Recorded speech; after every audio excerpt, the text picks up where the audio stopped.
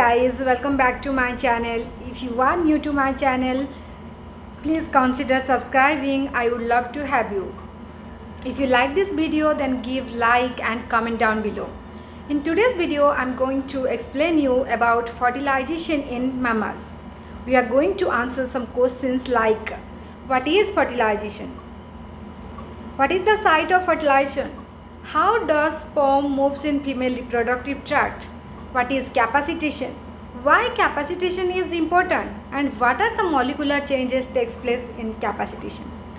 Stay tuned till the end of the video as we are going to solve some previous year CSIR questions. So let's get started. What is fertilization? Fertilization is the process of fusion of haploid sperm with the haploid egg that lead to the formation of diploid zygote who has the genetic potential inherited from both the parents. We know the fertilization is of two types. One is the external fertilization and another is the internal fertilization. In mammals, internal fertilization is found. So the question arises, when fertilization takes place, what is the site of fertilization? Fertilization in mammals or in human it takes place in the ampulla region of the oviduct. Where fertilization takes place? The fertilization takes place in the ampulla of oviduct. So this is the female reproductive tract. After the sperm gets deposited in vagina it moves towards the oviduct okay? And this is the ampullary region of the oviduct. Like that after ovulation, eggs move from the ovary, ovary to the ampullary region where the fertilization takes place. The structure of egg. How the mammalian eggs are looks like. The eggs are large and non-motile cells. What are the parts eggs consist of? The one part is the zona pellucida Zona pellucida, it is a glycoprotein coat. It is made up of three glycoproteins, zona pellucida 1, zona pellucida 2 and zona pellucida 3.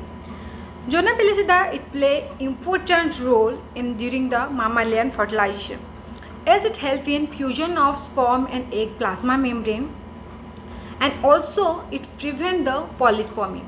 We will discuss more about it in our upcoming video acrosomal reaction in mammalian fertilization.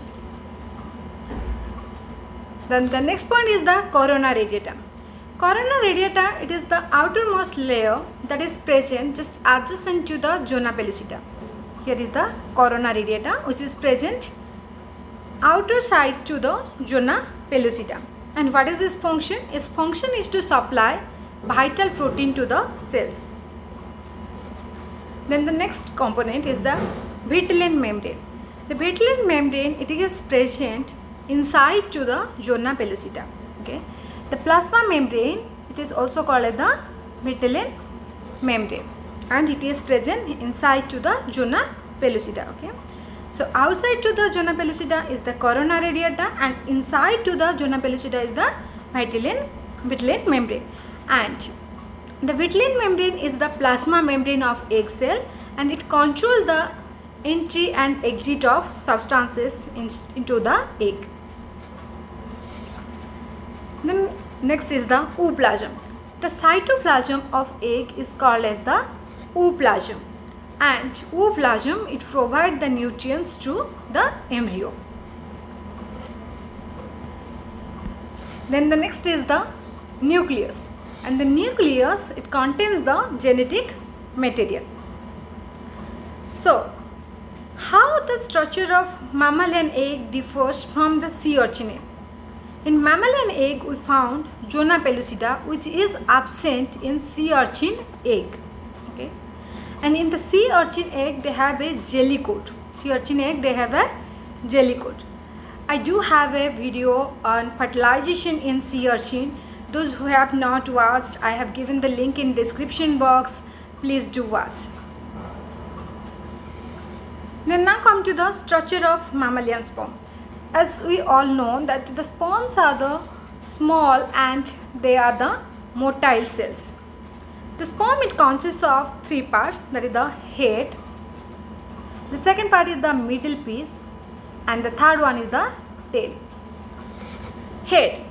Head it contains the haploid nucleus and overlying the head there is a cap like the structure. That cap like the structure is called the acrosome. Okay. And uh, acrosome it play important role during the process of the fertilization. We will discuss more about it as we move to the our upcoming videos. The next comes to the middle piece. Middle piece it contains the mitochondria which produce the ATP and the ATP are necessary for beating of the cilia. That means for the movement of or the motility of the sperm. And the last one is the tail. It is also called as the principal piece. The tail contains the microtubules. Okay. The tail contains the microtubules and the sliding of the microtubule is powered by the protein that protein is called as the dynein that helps in the movement of the sperm. So now we have the idea about how the mammalian egg and the sperms looks like.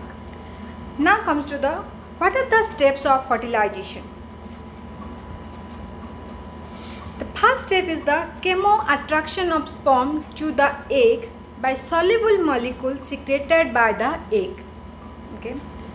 The sperm, at first step, the sperm activated in the female reproductive tract.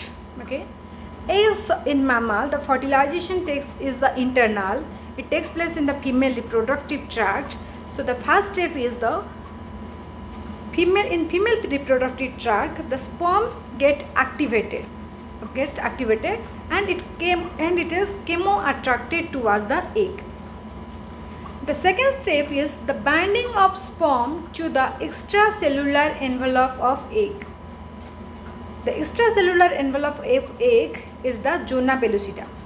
So the second step is the binding of the sperm to the zona pellucida of the egg. Then the third step is acrosomal reaction. Okay? And the fourth step is the passing of the sperm through the extracellular envelope. And the fifth one is fusion of egg and sperm cell plasma membrane. Okay? So what are the steps of mammalian fertilization? The first step is the activation of sperm in the female reproductive tract. Then the chemo attraction of sperm to the egg the second step is binding of sperm to the extracellular envelope or zona pellucida of the egg. The third step is acrosomal reaction. Fourth step is passing of sperm through the extracellular envelope. And fifth step is the fusion of sperm and egg plasma membrane. Okay.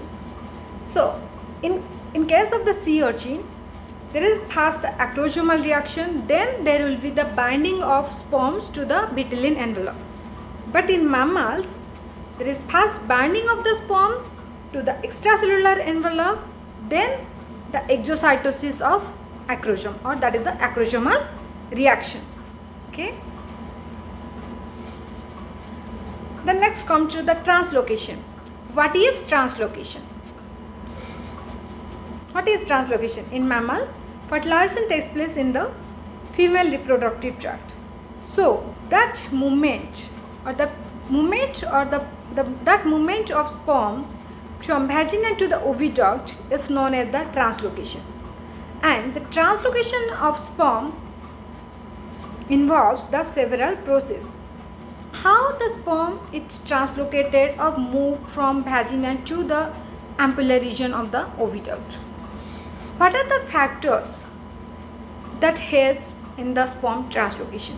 The first factor is the sperm motility. Yes, the sperm motility that probably is the important in getting the sperm through cervical mucus into the uterus. So the first point is the sperm motility. Then second one is the uterine muscle contraction. The sperm are found in oviduct within the 30 minutes of sperm deposition in the vagina. Then the sperm they are transported to the oviduct, oviduct by muscular activity of the uterus. Okay. Besides the sperm motility, the uterine muscle contraction, contraction also helps in the sperm translocation from vagina to the oviduct. Then the third one is the sperm rheotaxis. Okay. The oviduct it synthesizes or secretes the some fluids. The sperm has the ability to move against that water current to reach the egg.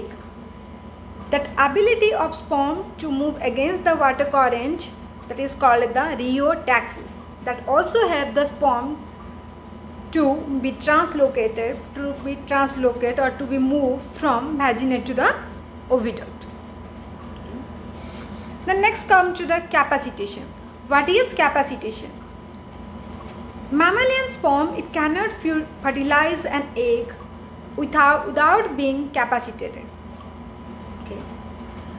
What is capacitation? Capacitation is the set of physiological changes that allow the sperm to be competent to fertilize the egg. So how the capacitation is achieved or accomplished? The capacitation is achieved or accomplished if the sperm resides sometimes in female reproductive tract. Okay. If it will be reside for a few times then it cannot fertilize the egg because it needs some time to be capacitated and the capacitation it is the molecular changes. Okay the capacitation process that involve the set of molecular changes. And what are the molecular changes? Let's have a look. Molecular changes during capacitation. The fluidity of sperm plasma membrane is altered by removal of cholesterol by albumin protein found in female reproductive tract. The first step is to remove the cholesterol from sperm plasma membrane. And how the cholesterol is removed? That is removed by albumin protein which is present in the female reproductive tract. And why the removal of cholesterol is required? Is the cholesterol start to efflux from the plasma membrane of the sperm. Then the receptor protein or the binding site for zona pellucida it will be opened. Okay and that is required for the fusion of sperm and egg membrane. The second point is that the particular proteins or carbohydrate on the sperm surface lost during capacitation. It is possible that this compound block the recognition site for the protein that bind to the zona pellucida. Okay. The point number three. There is a change in electrical potential of sperm plasma membrane as the potassium ion they move out of the sperm. The potassium ion they are getting effluxed from the sperm plasma membrane. As the potassium ion move out of the plasma membrane that lead to the influx of calcium and bicarbonate ion. As the calcium and bicarbonate ion influxed into the cell or the plasma membrane of the sperm that activate the cyclic AMP production. The cyclic AMP production or the formation of the cyclic AMP that lead to the formal um, phosphorylation of proteins. Once the proteins are get phosphorylated, some of the proteins they migrate to the surface of the sperm. One of those protein is one of the protein is izumo. Izumo okay? The one of the protein is izumo which is critical for sperm and egg membrane fusion.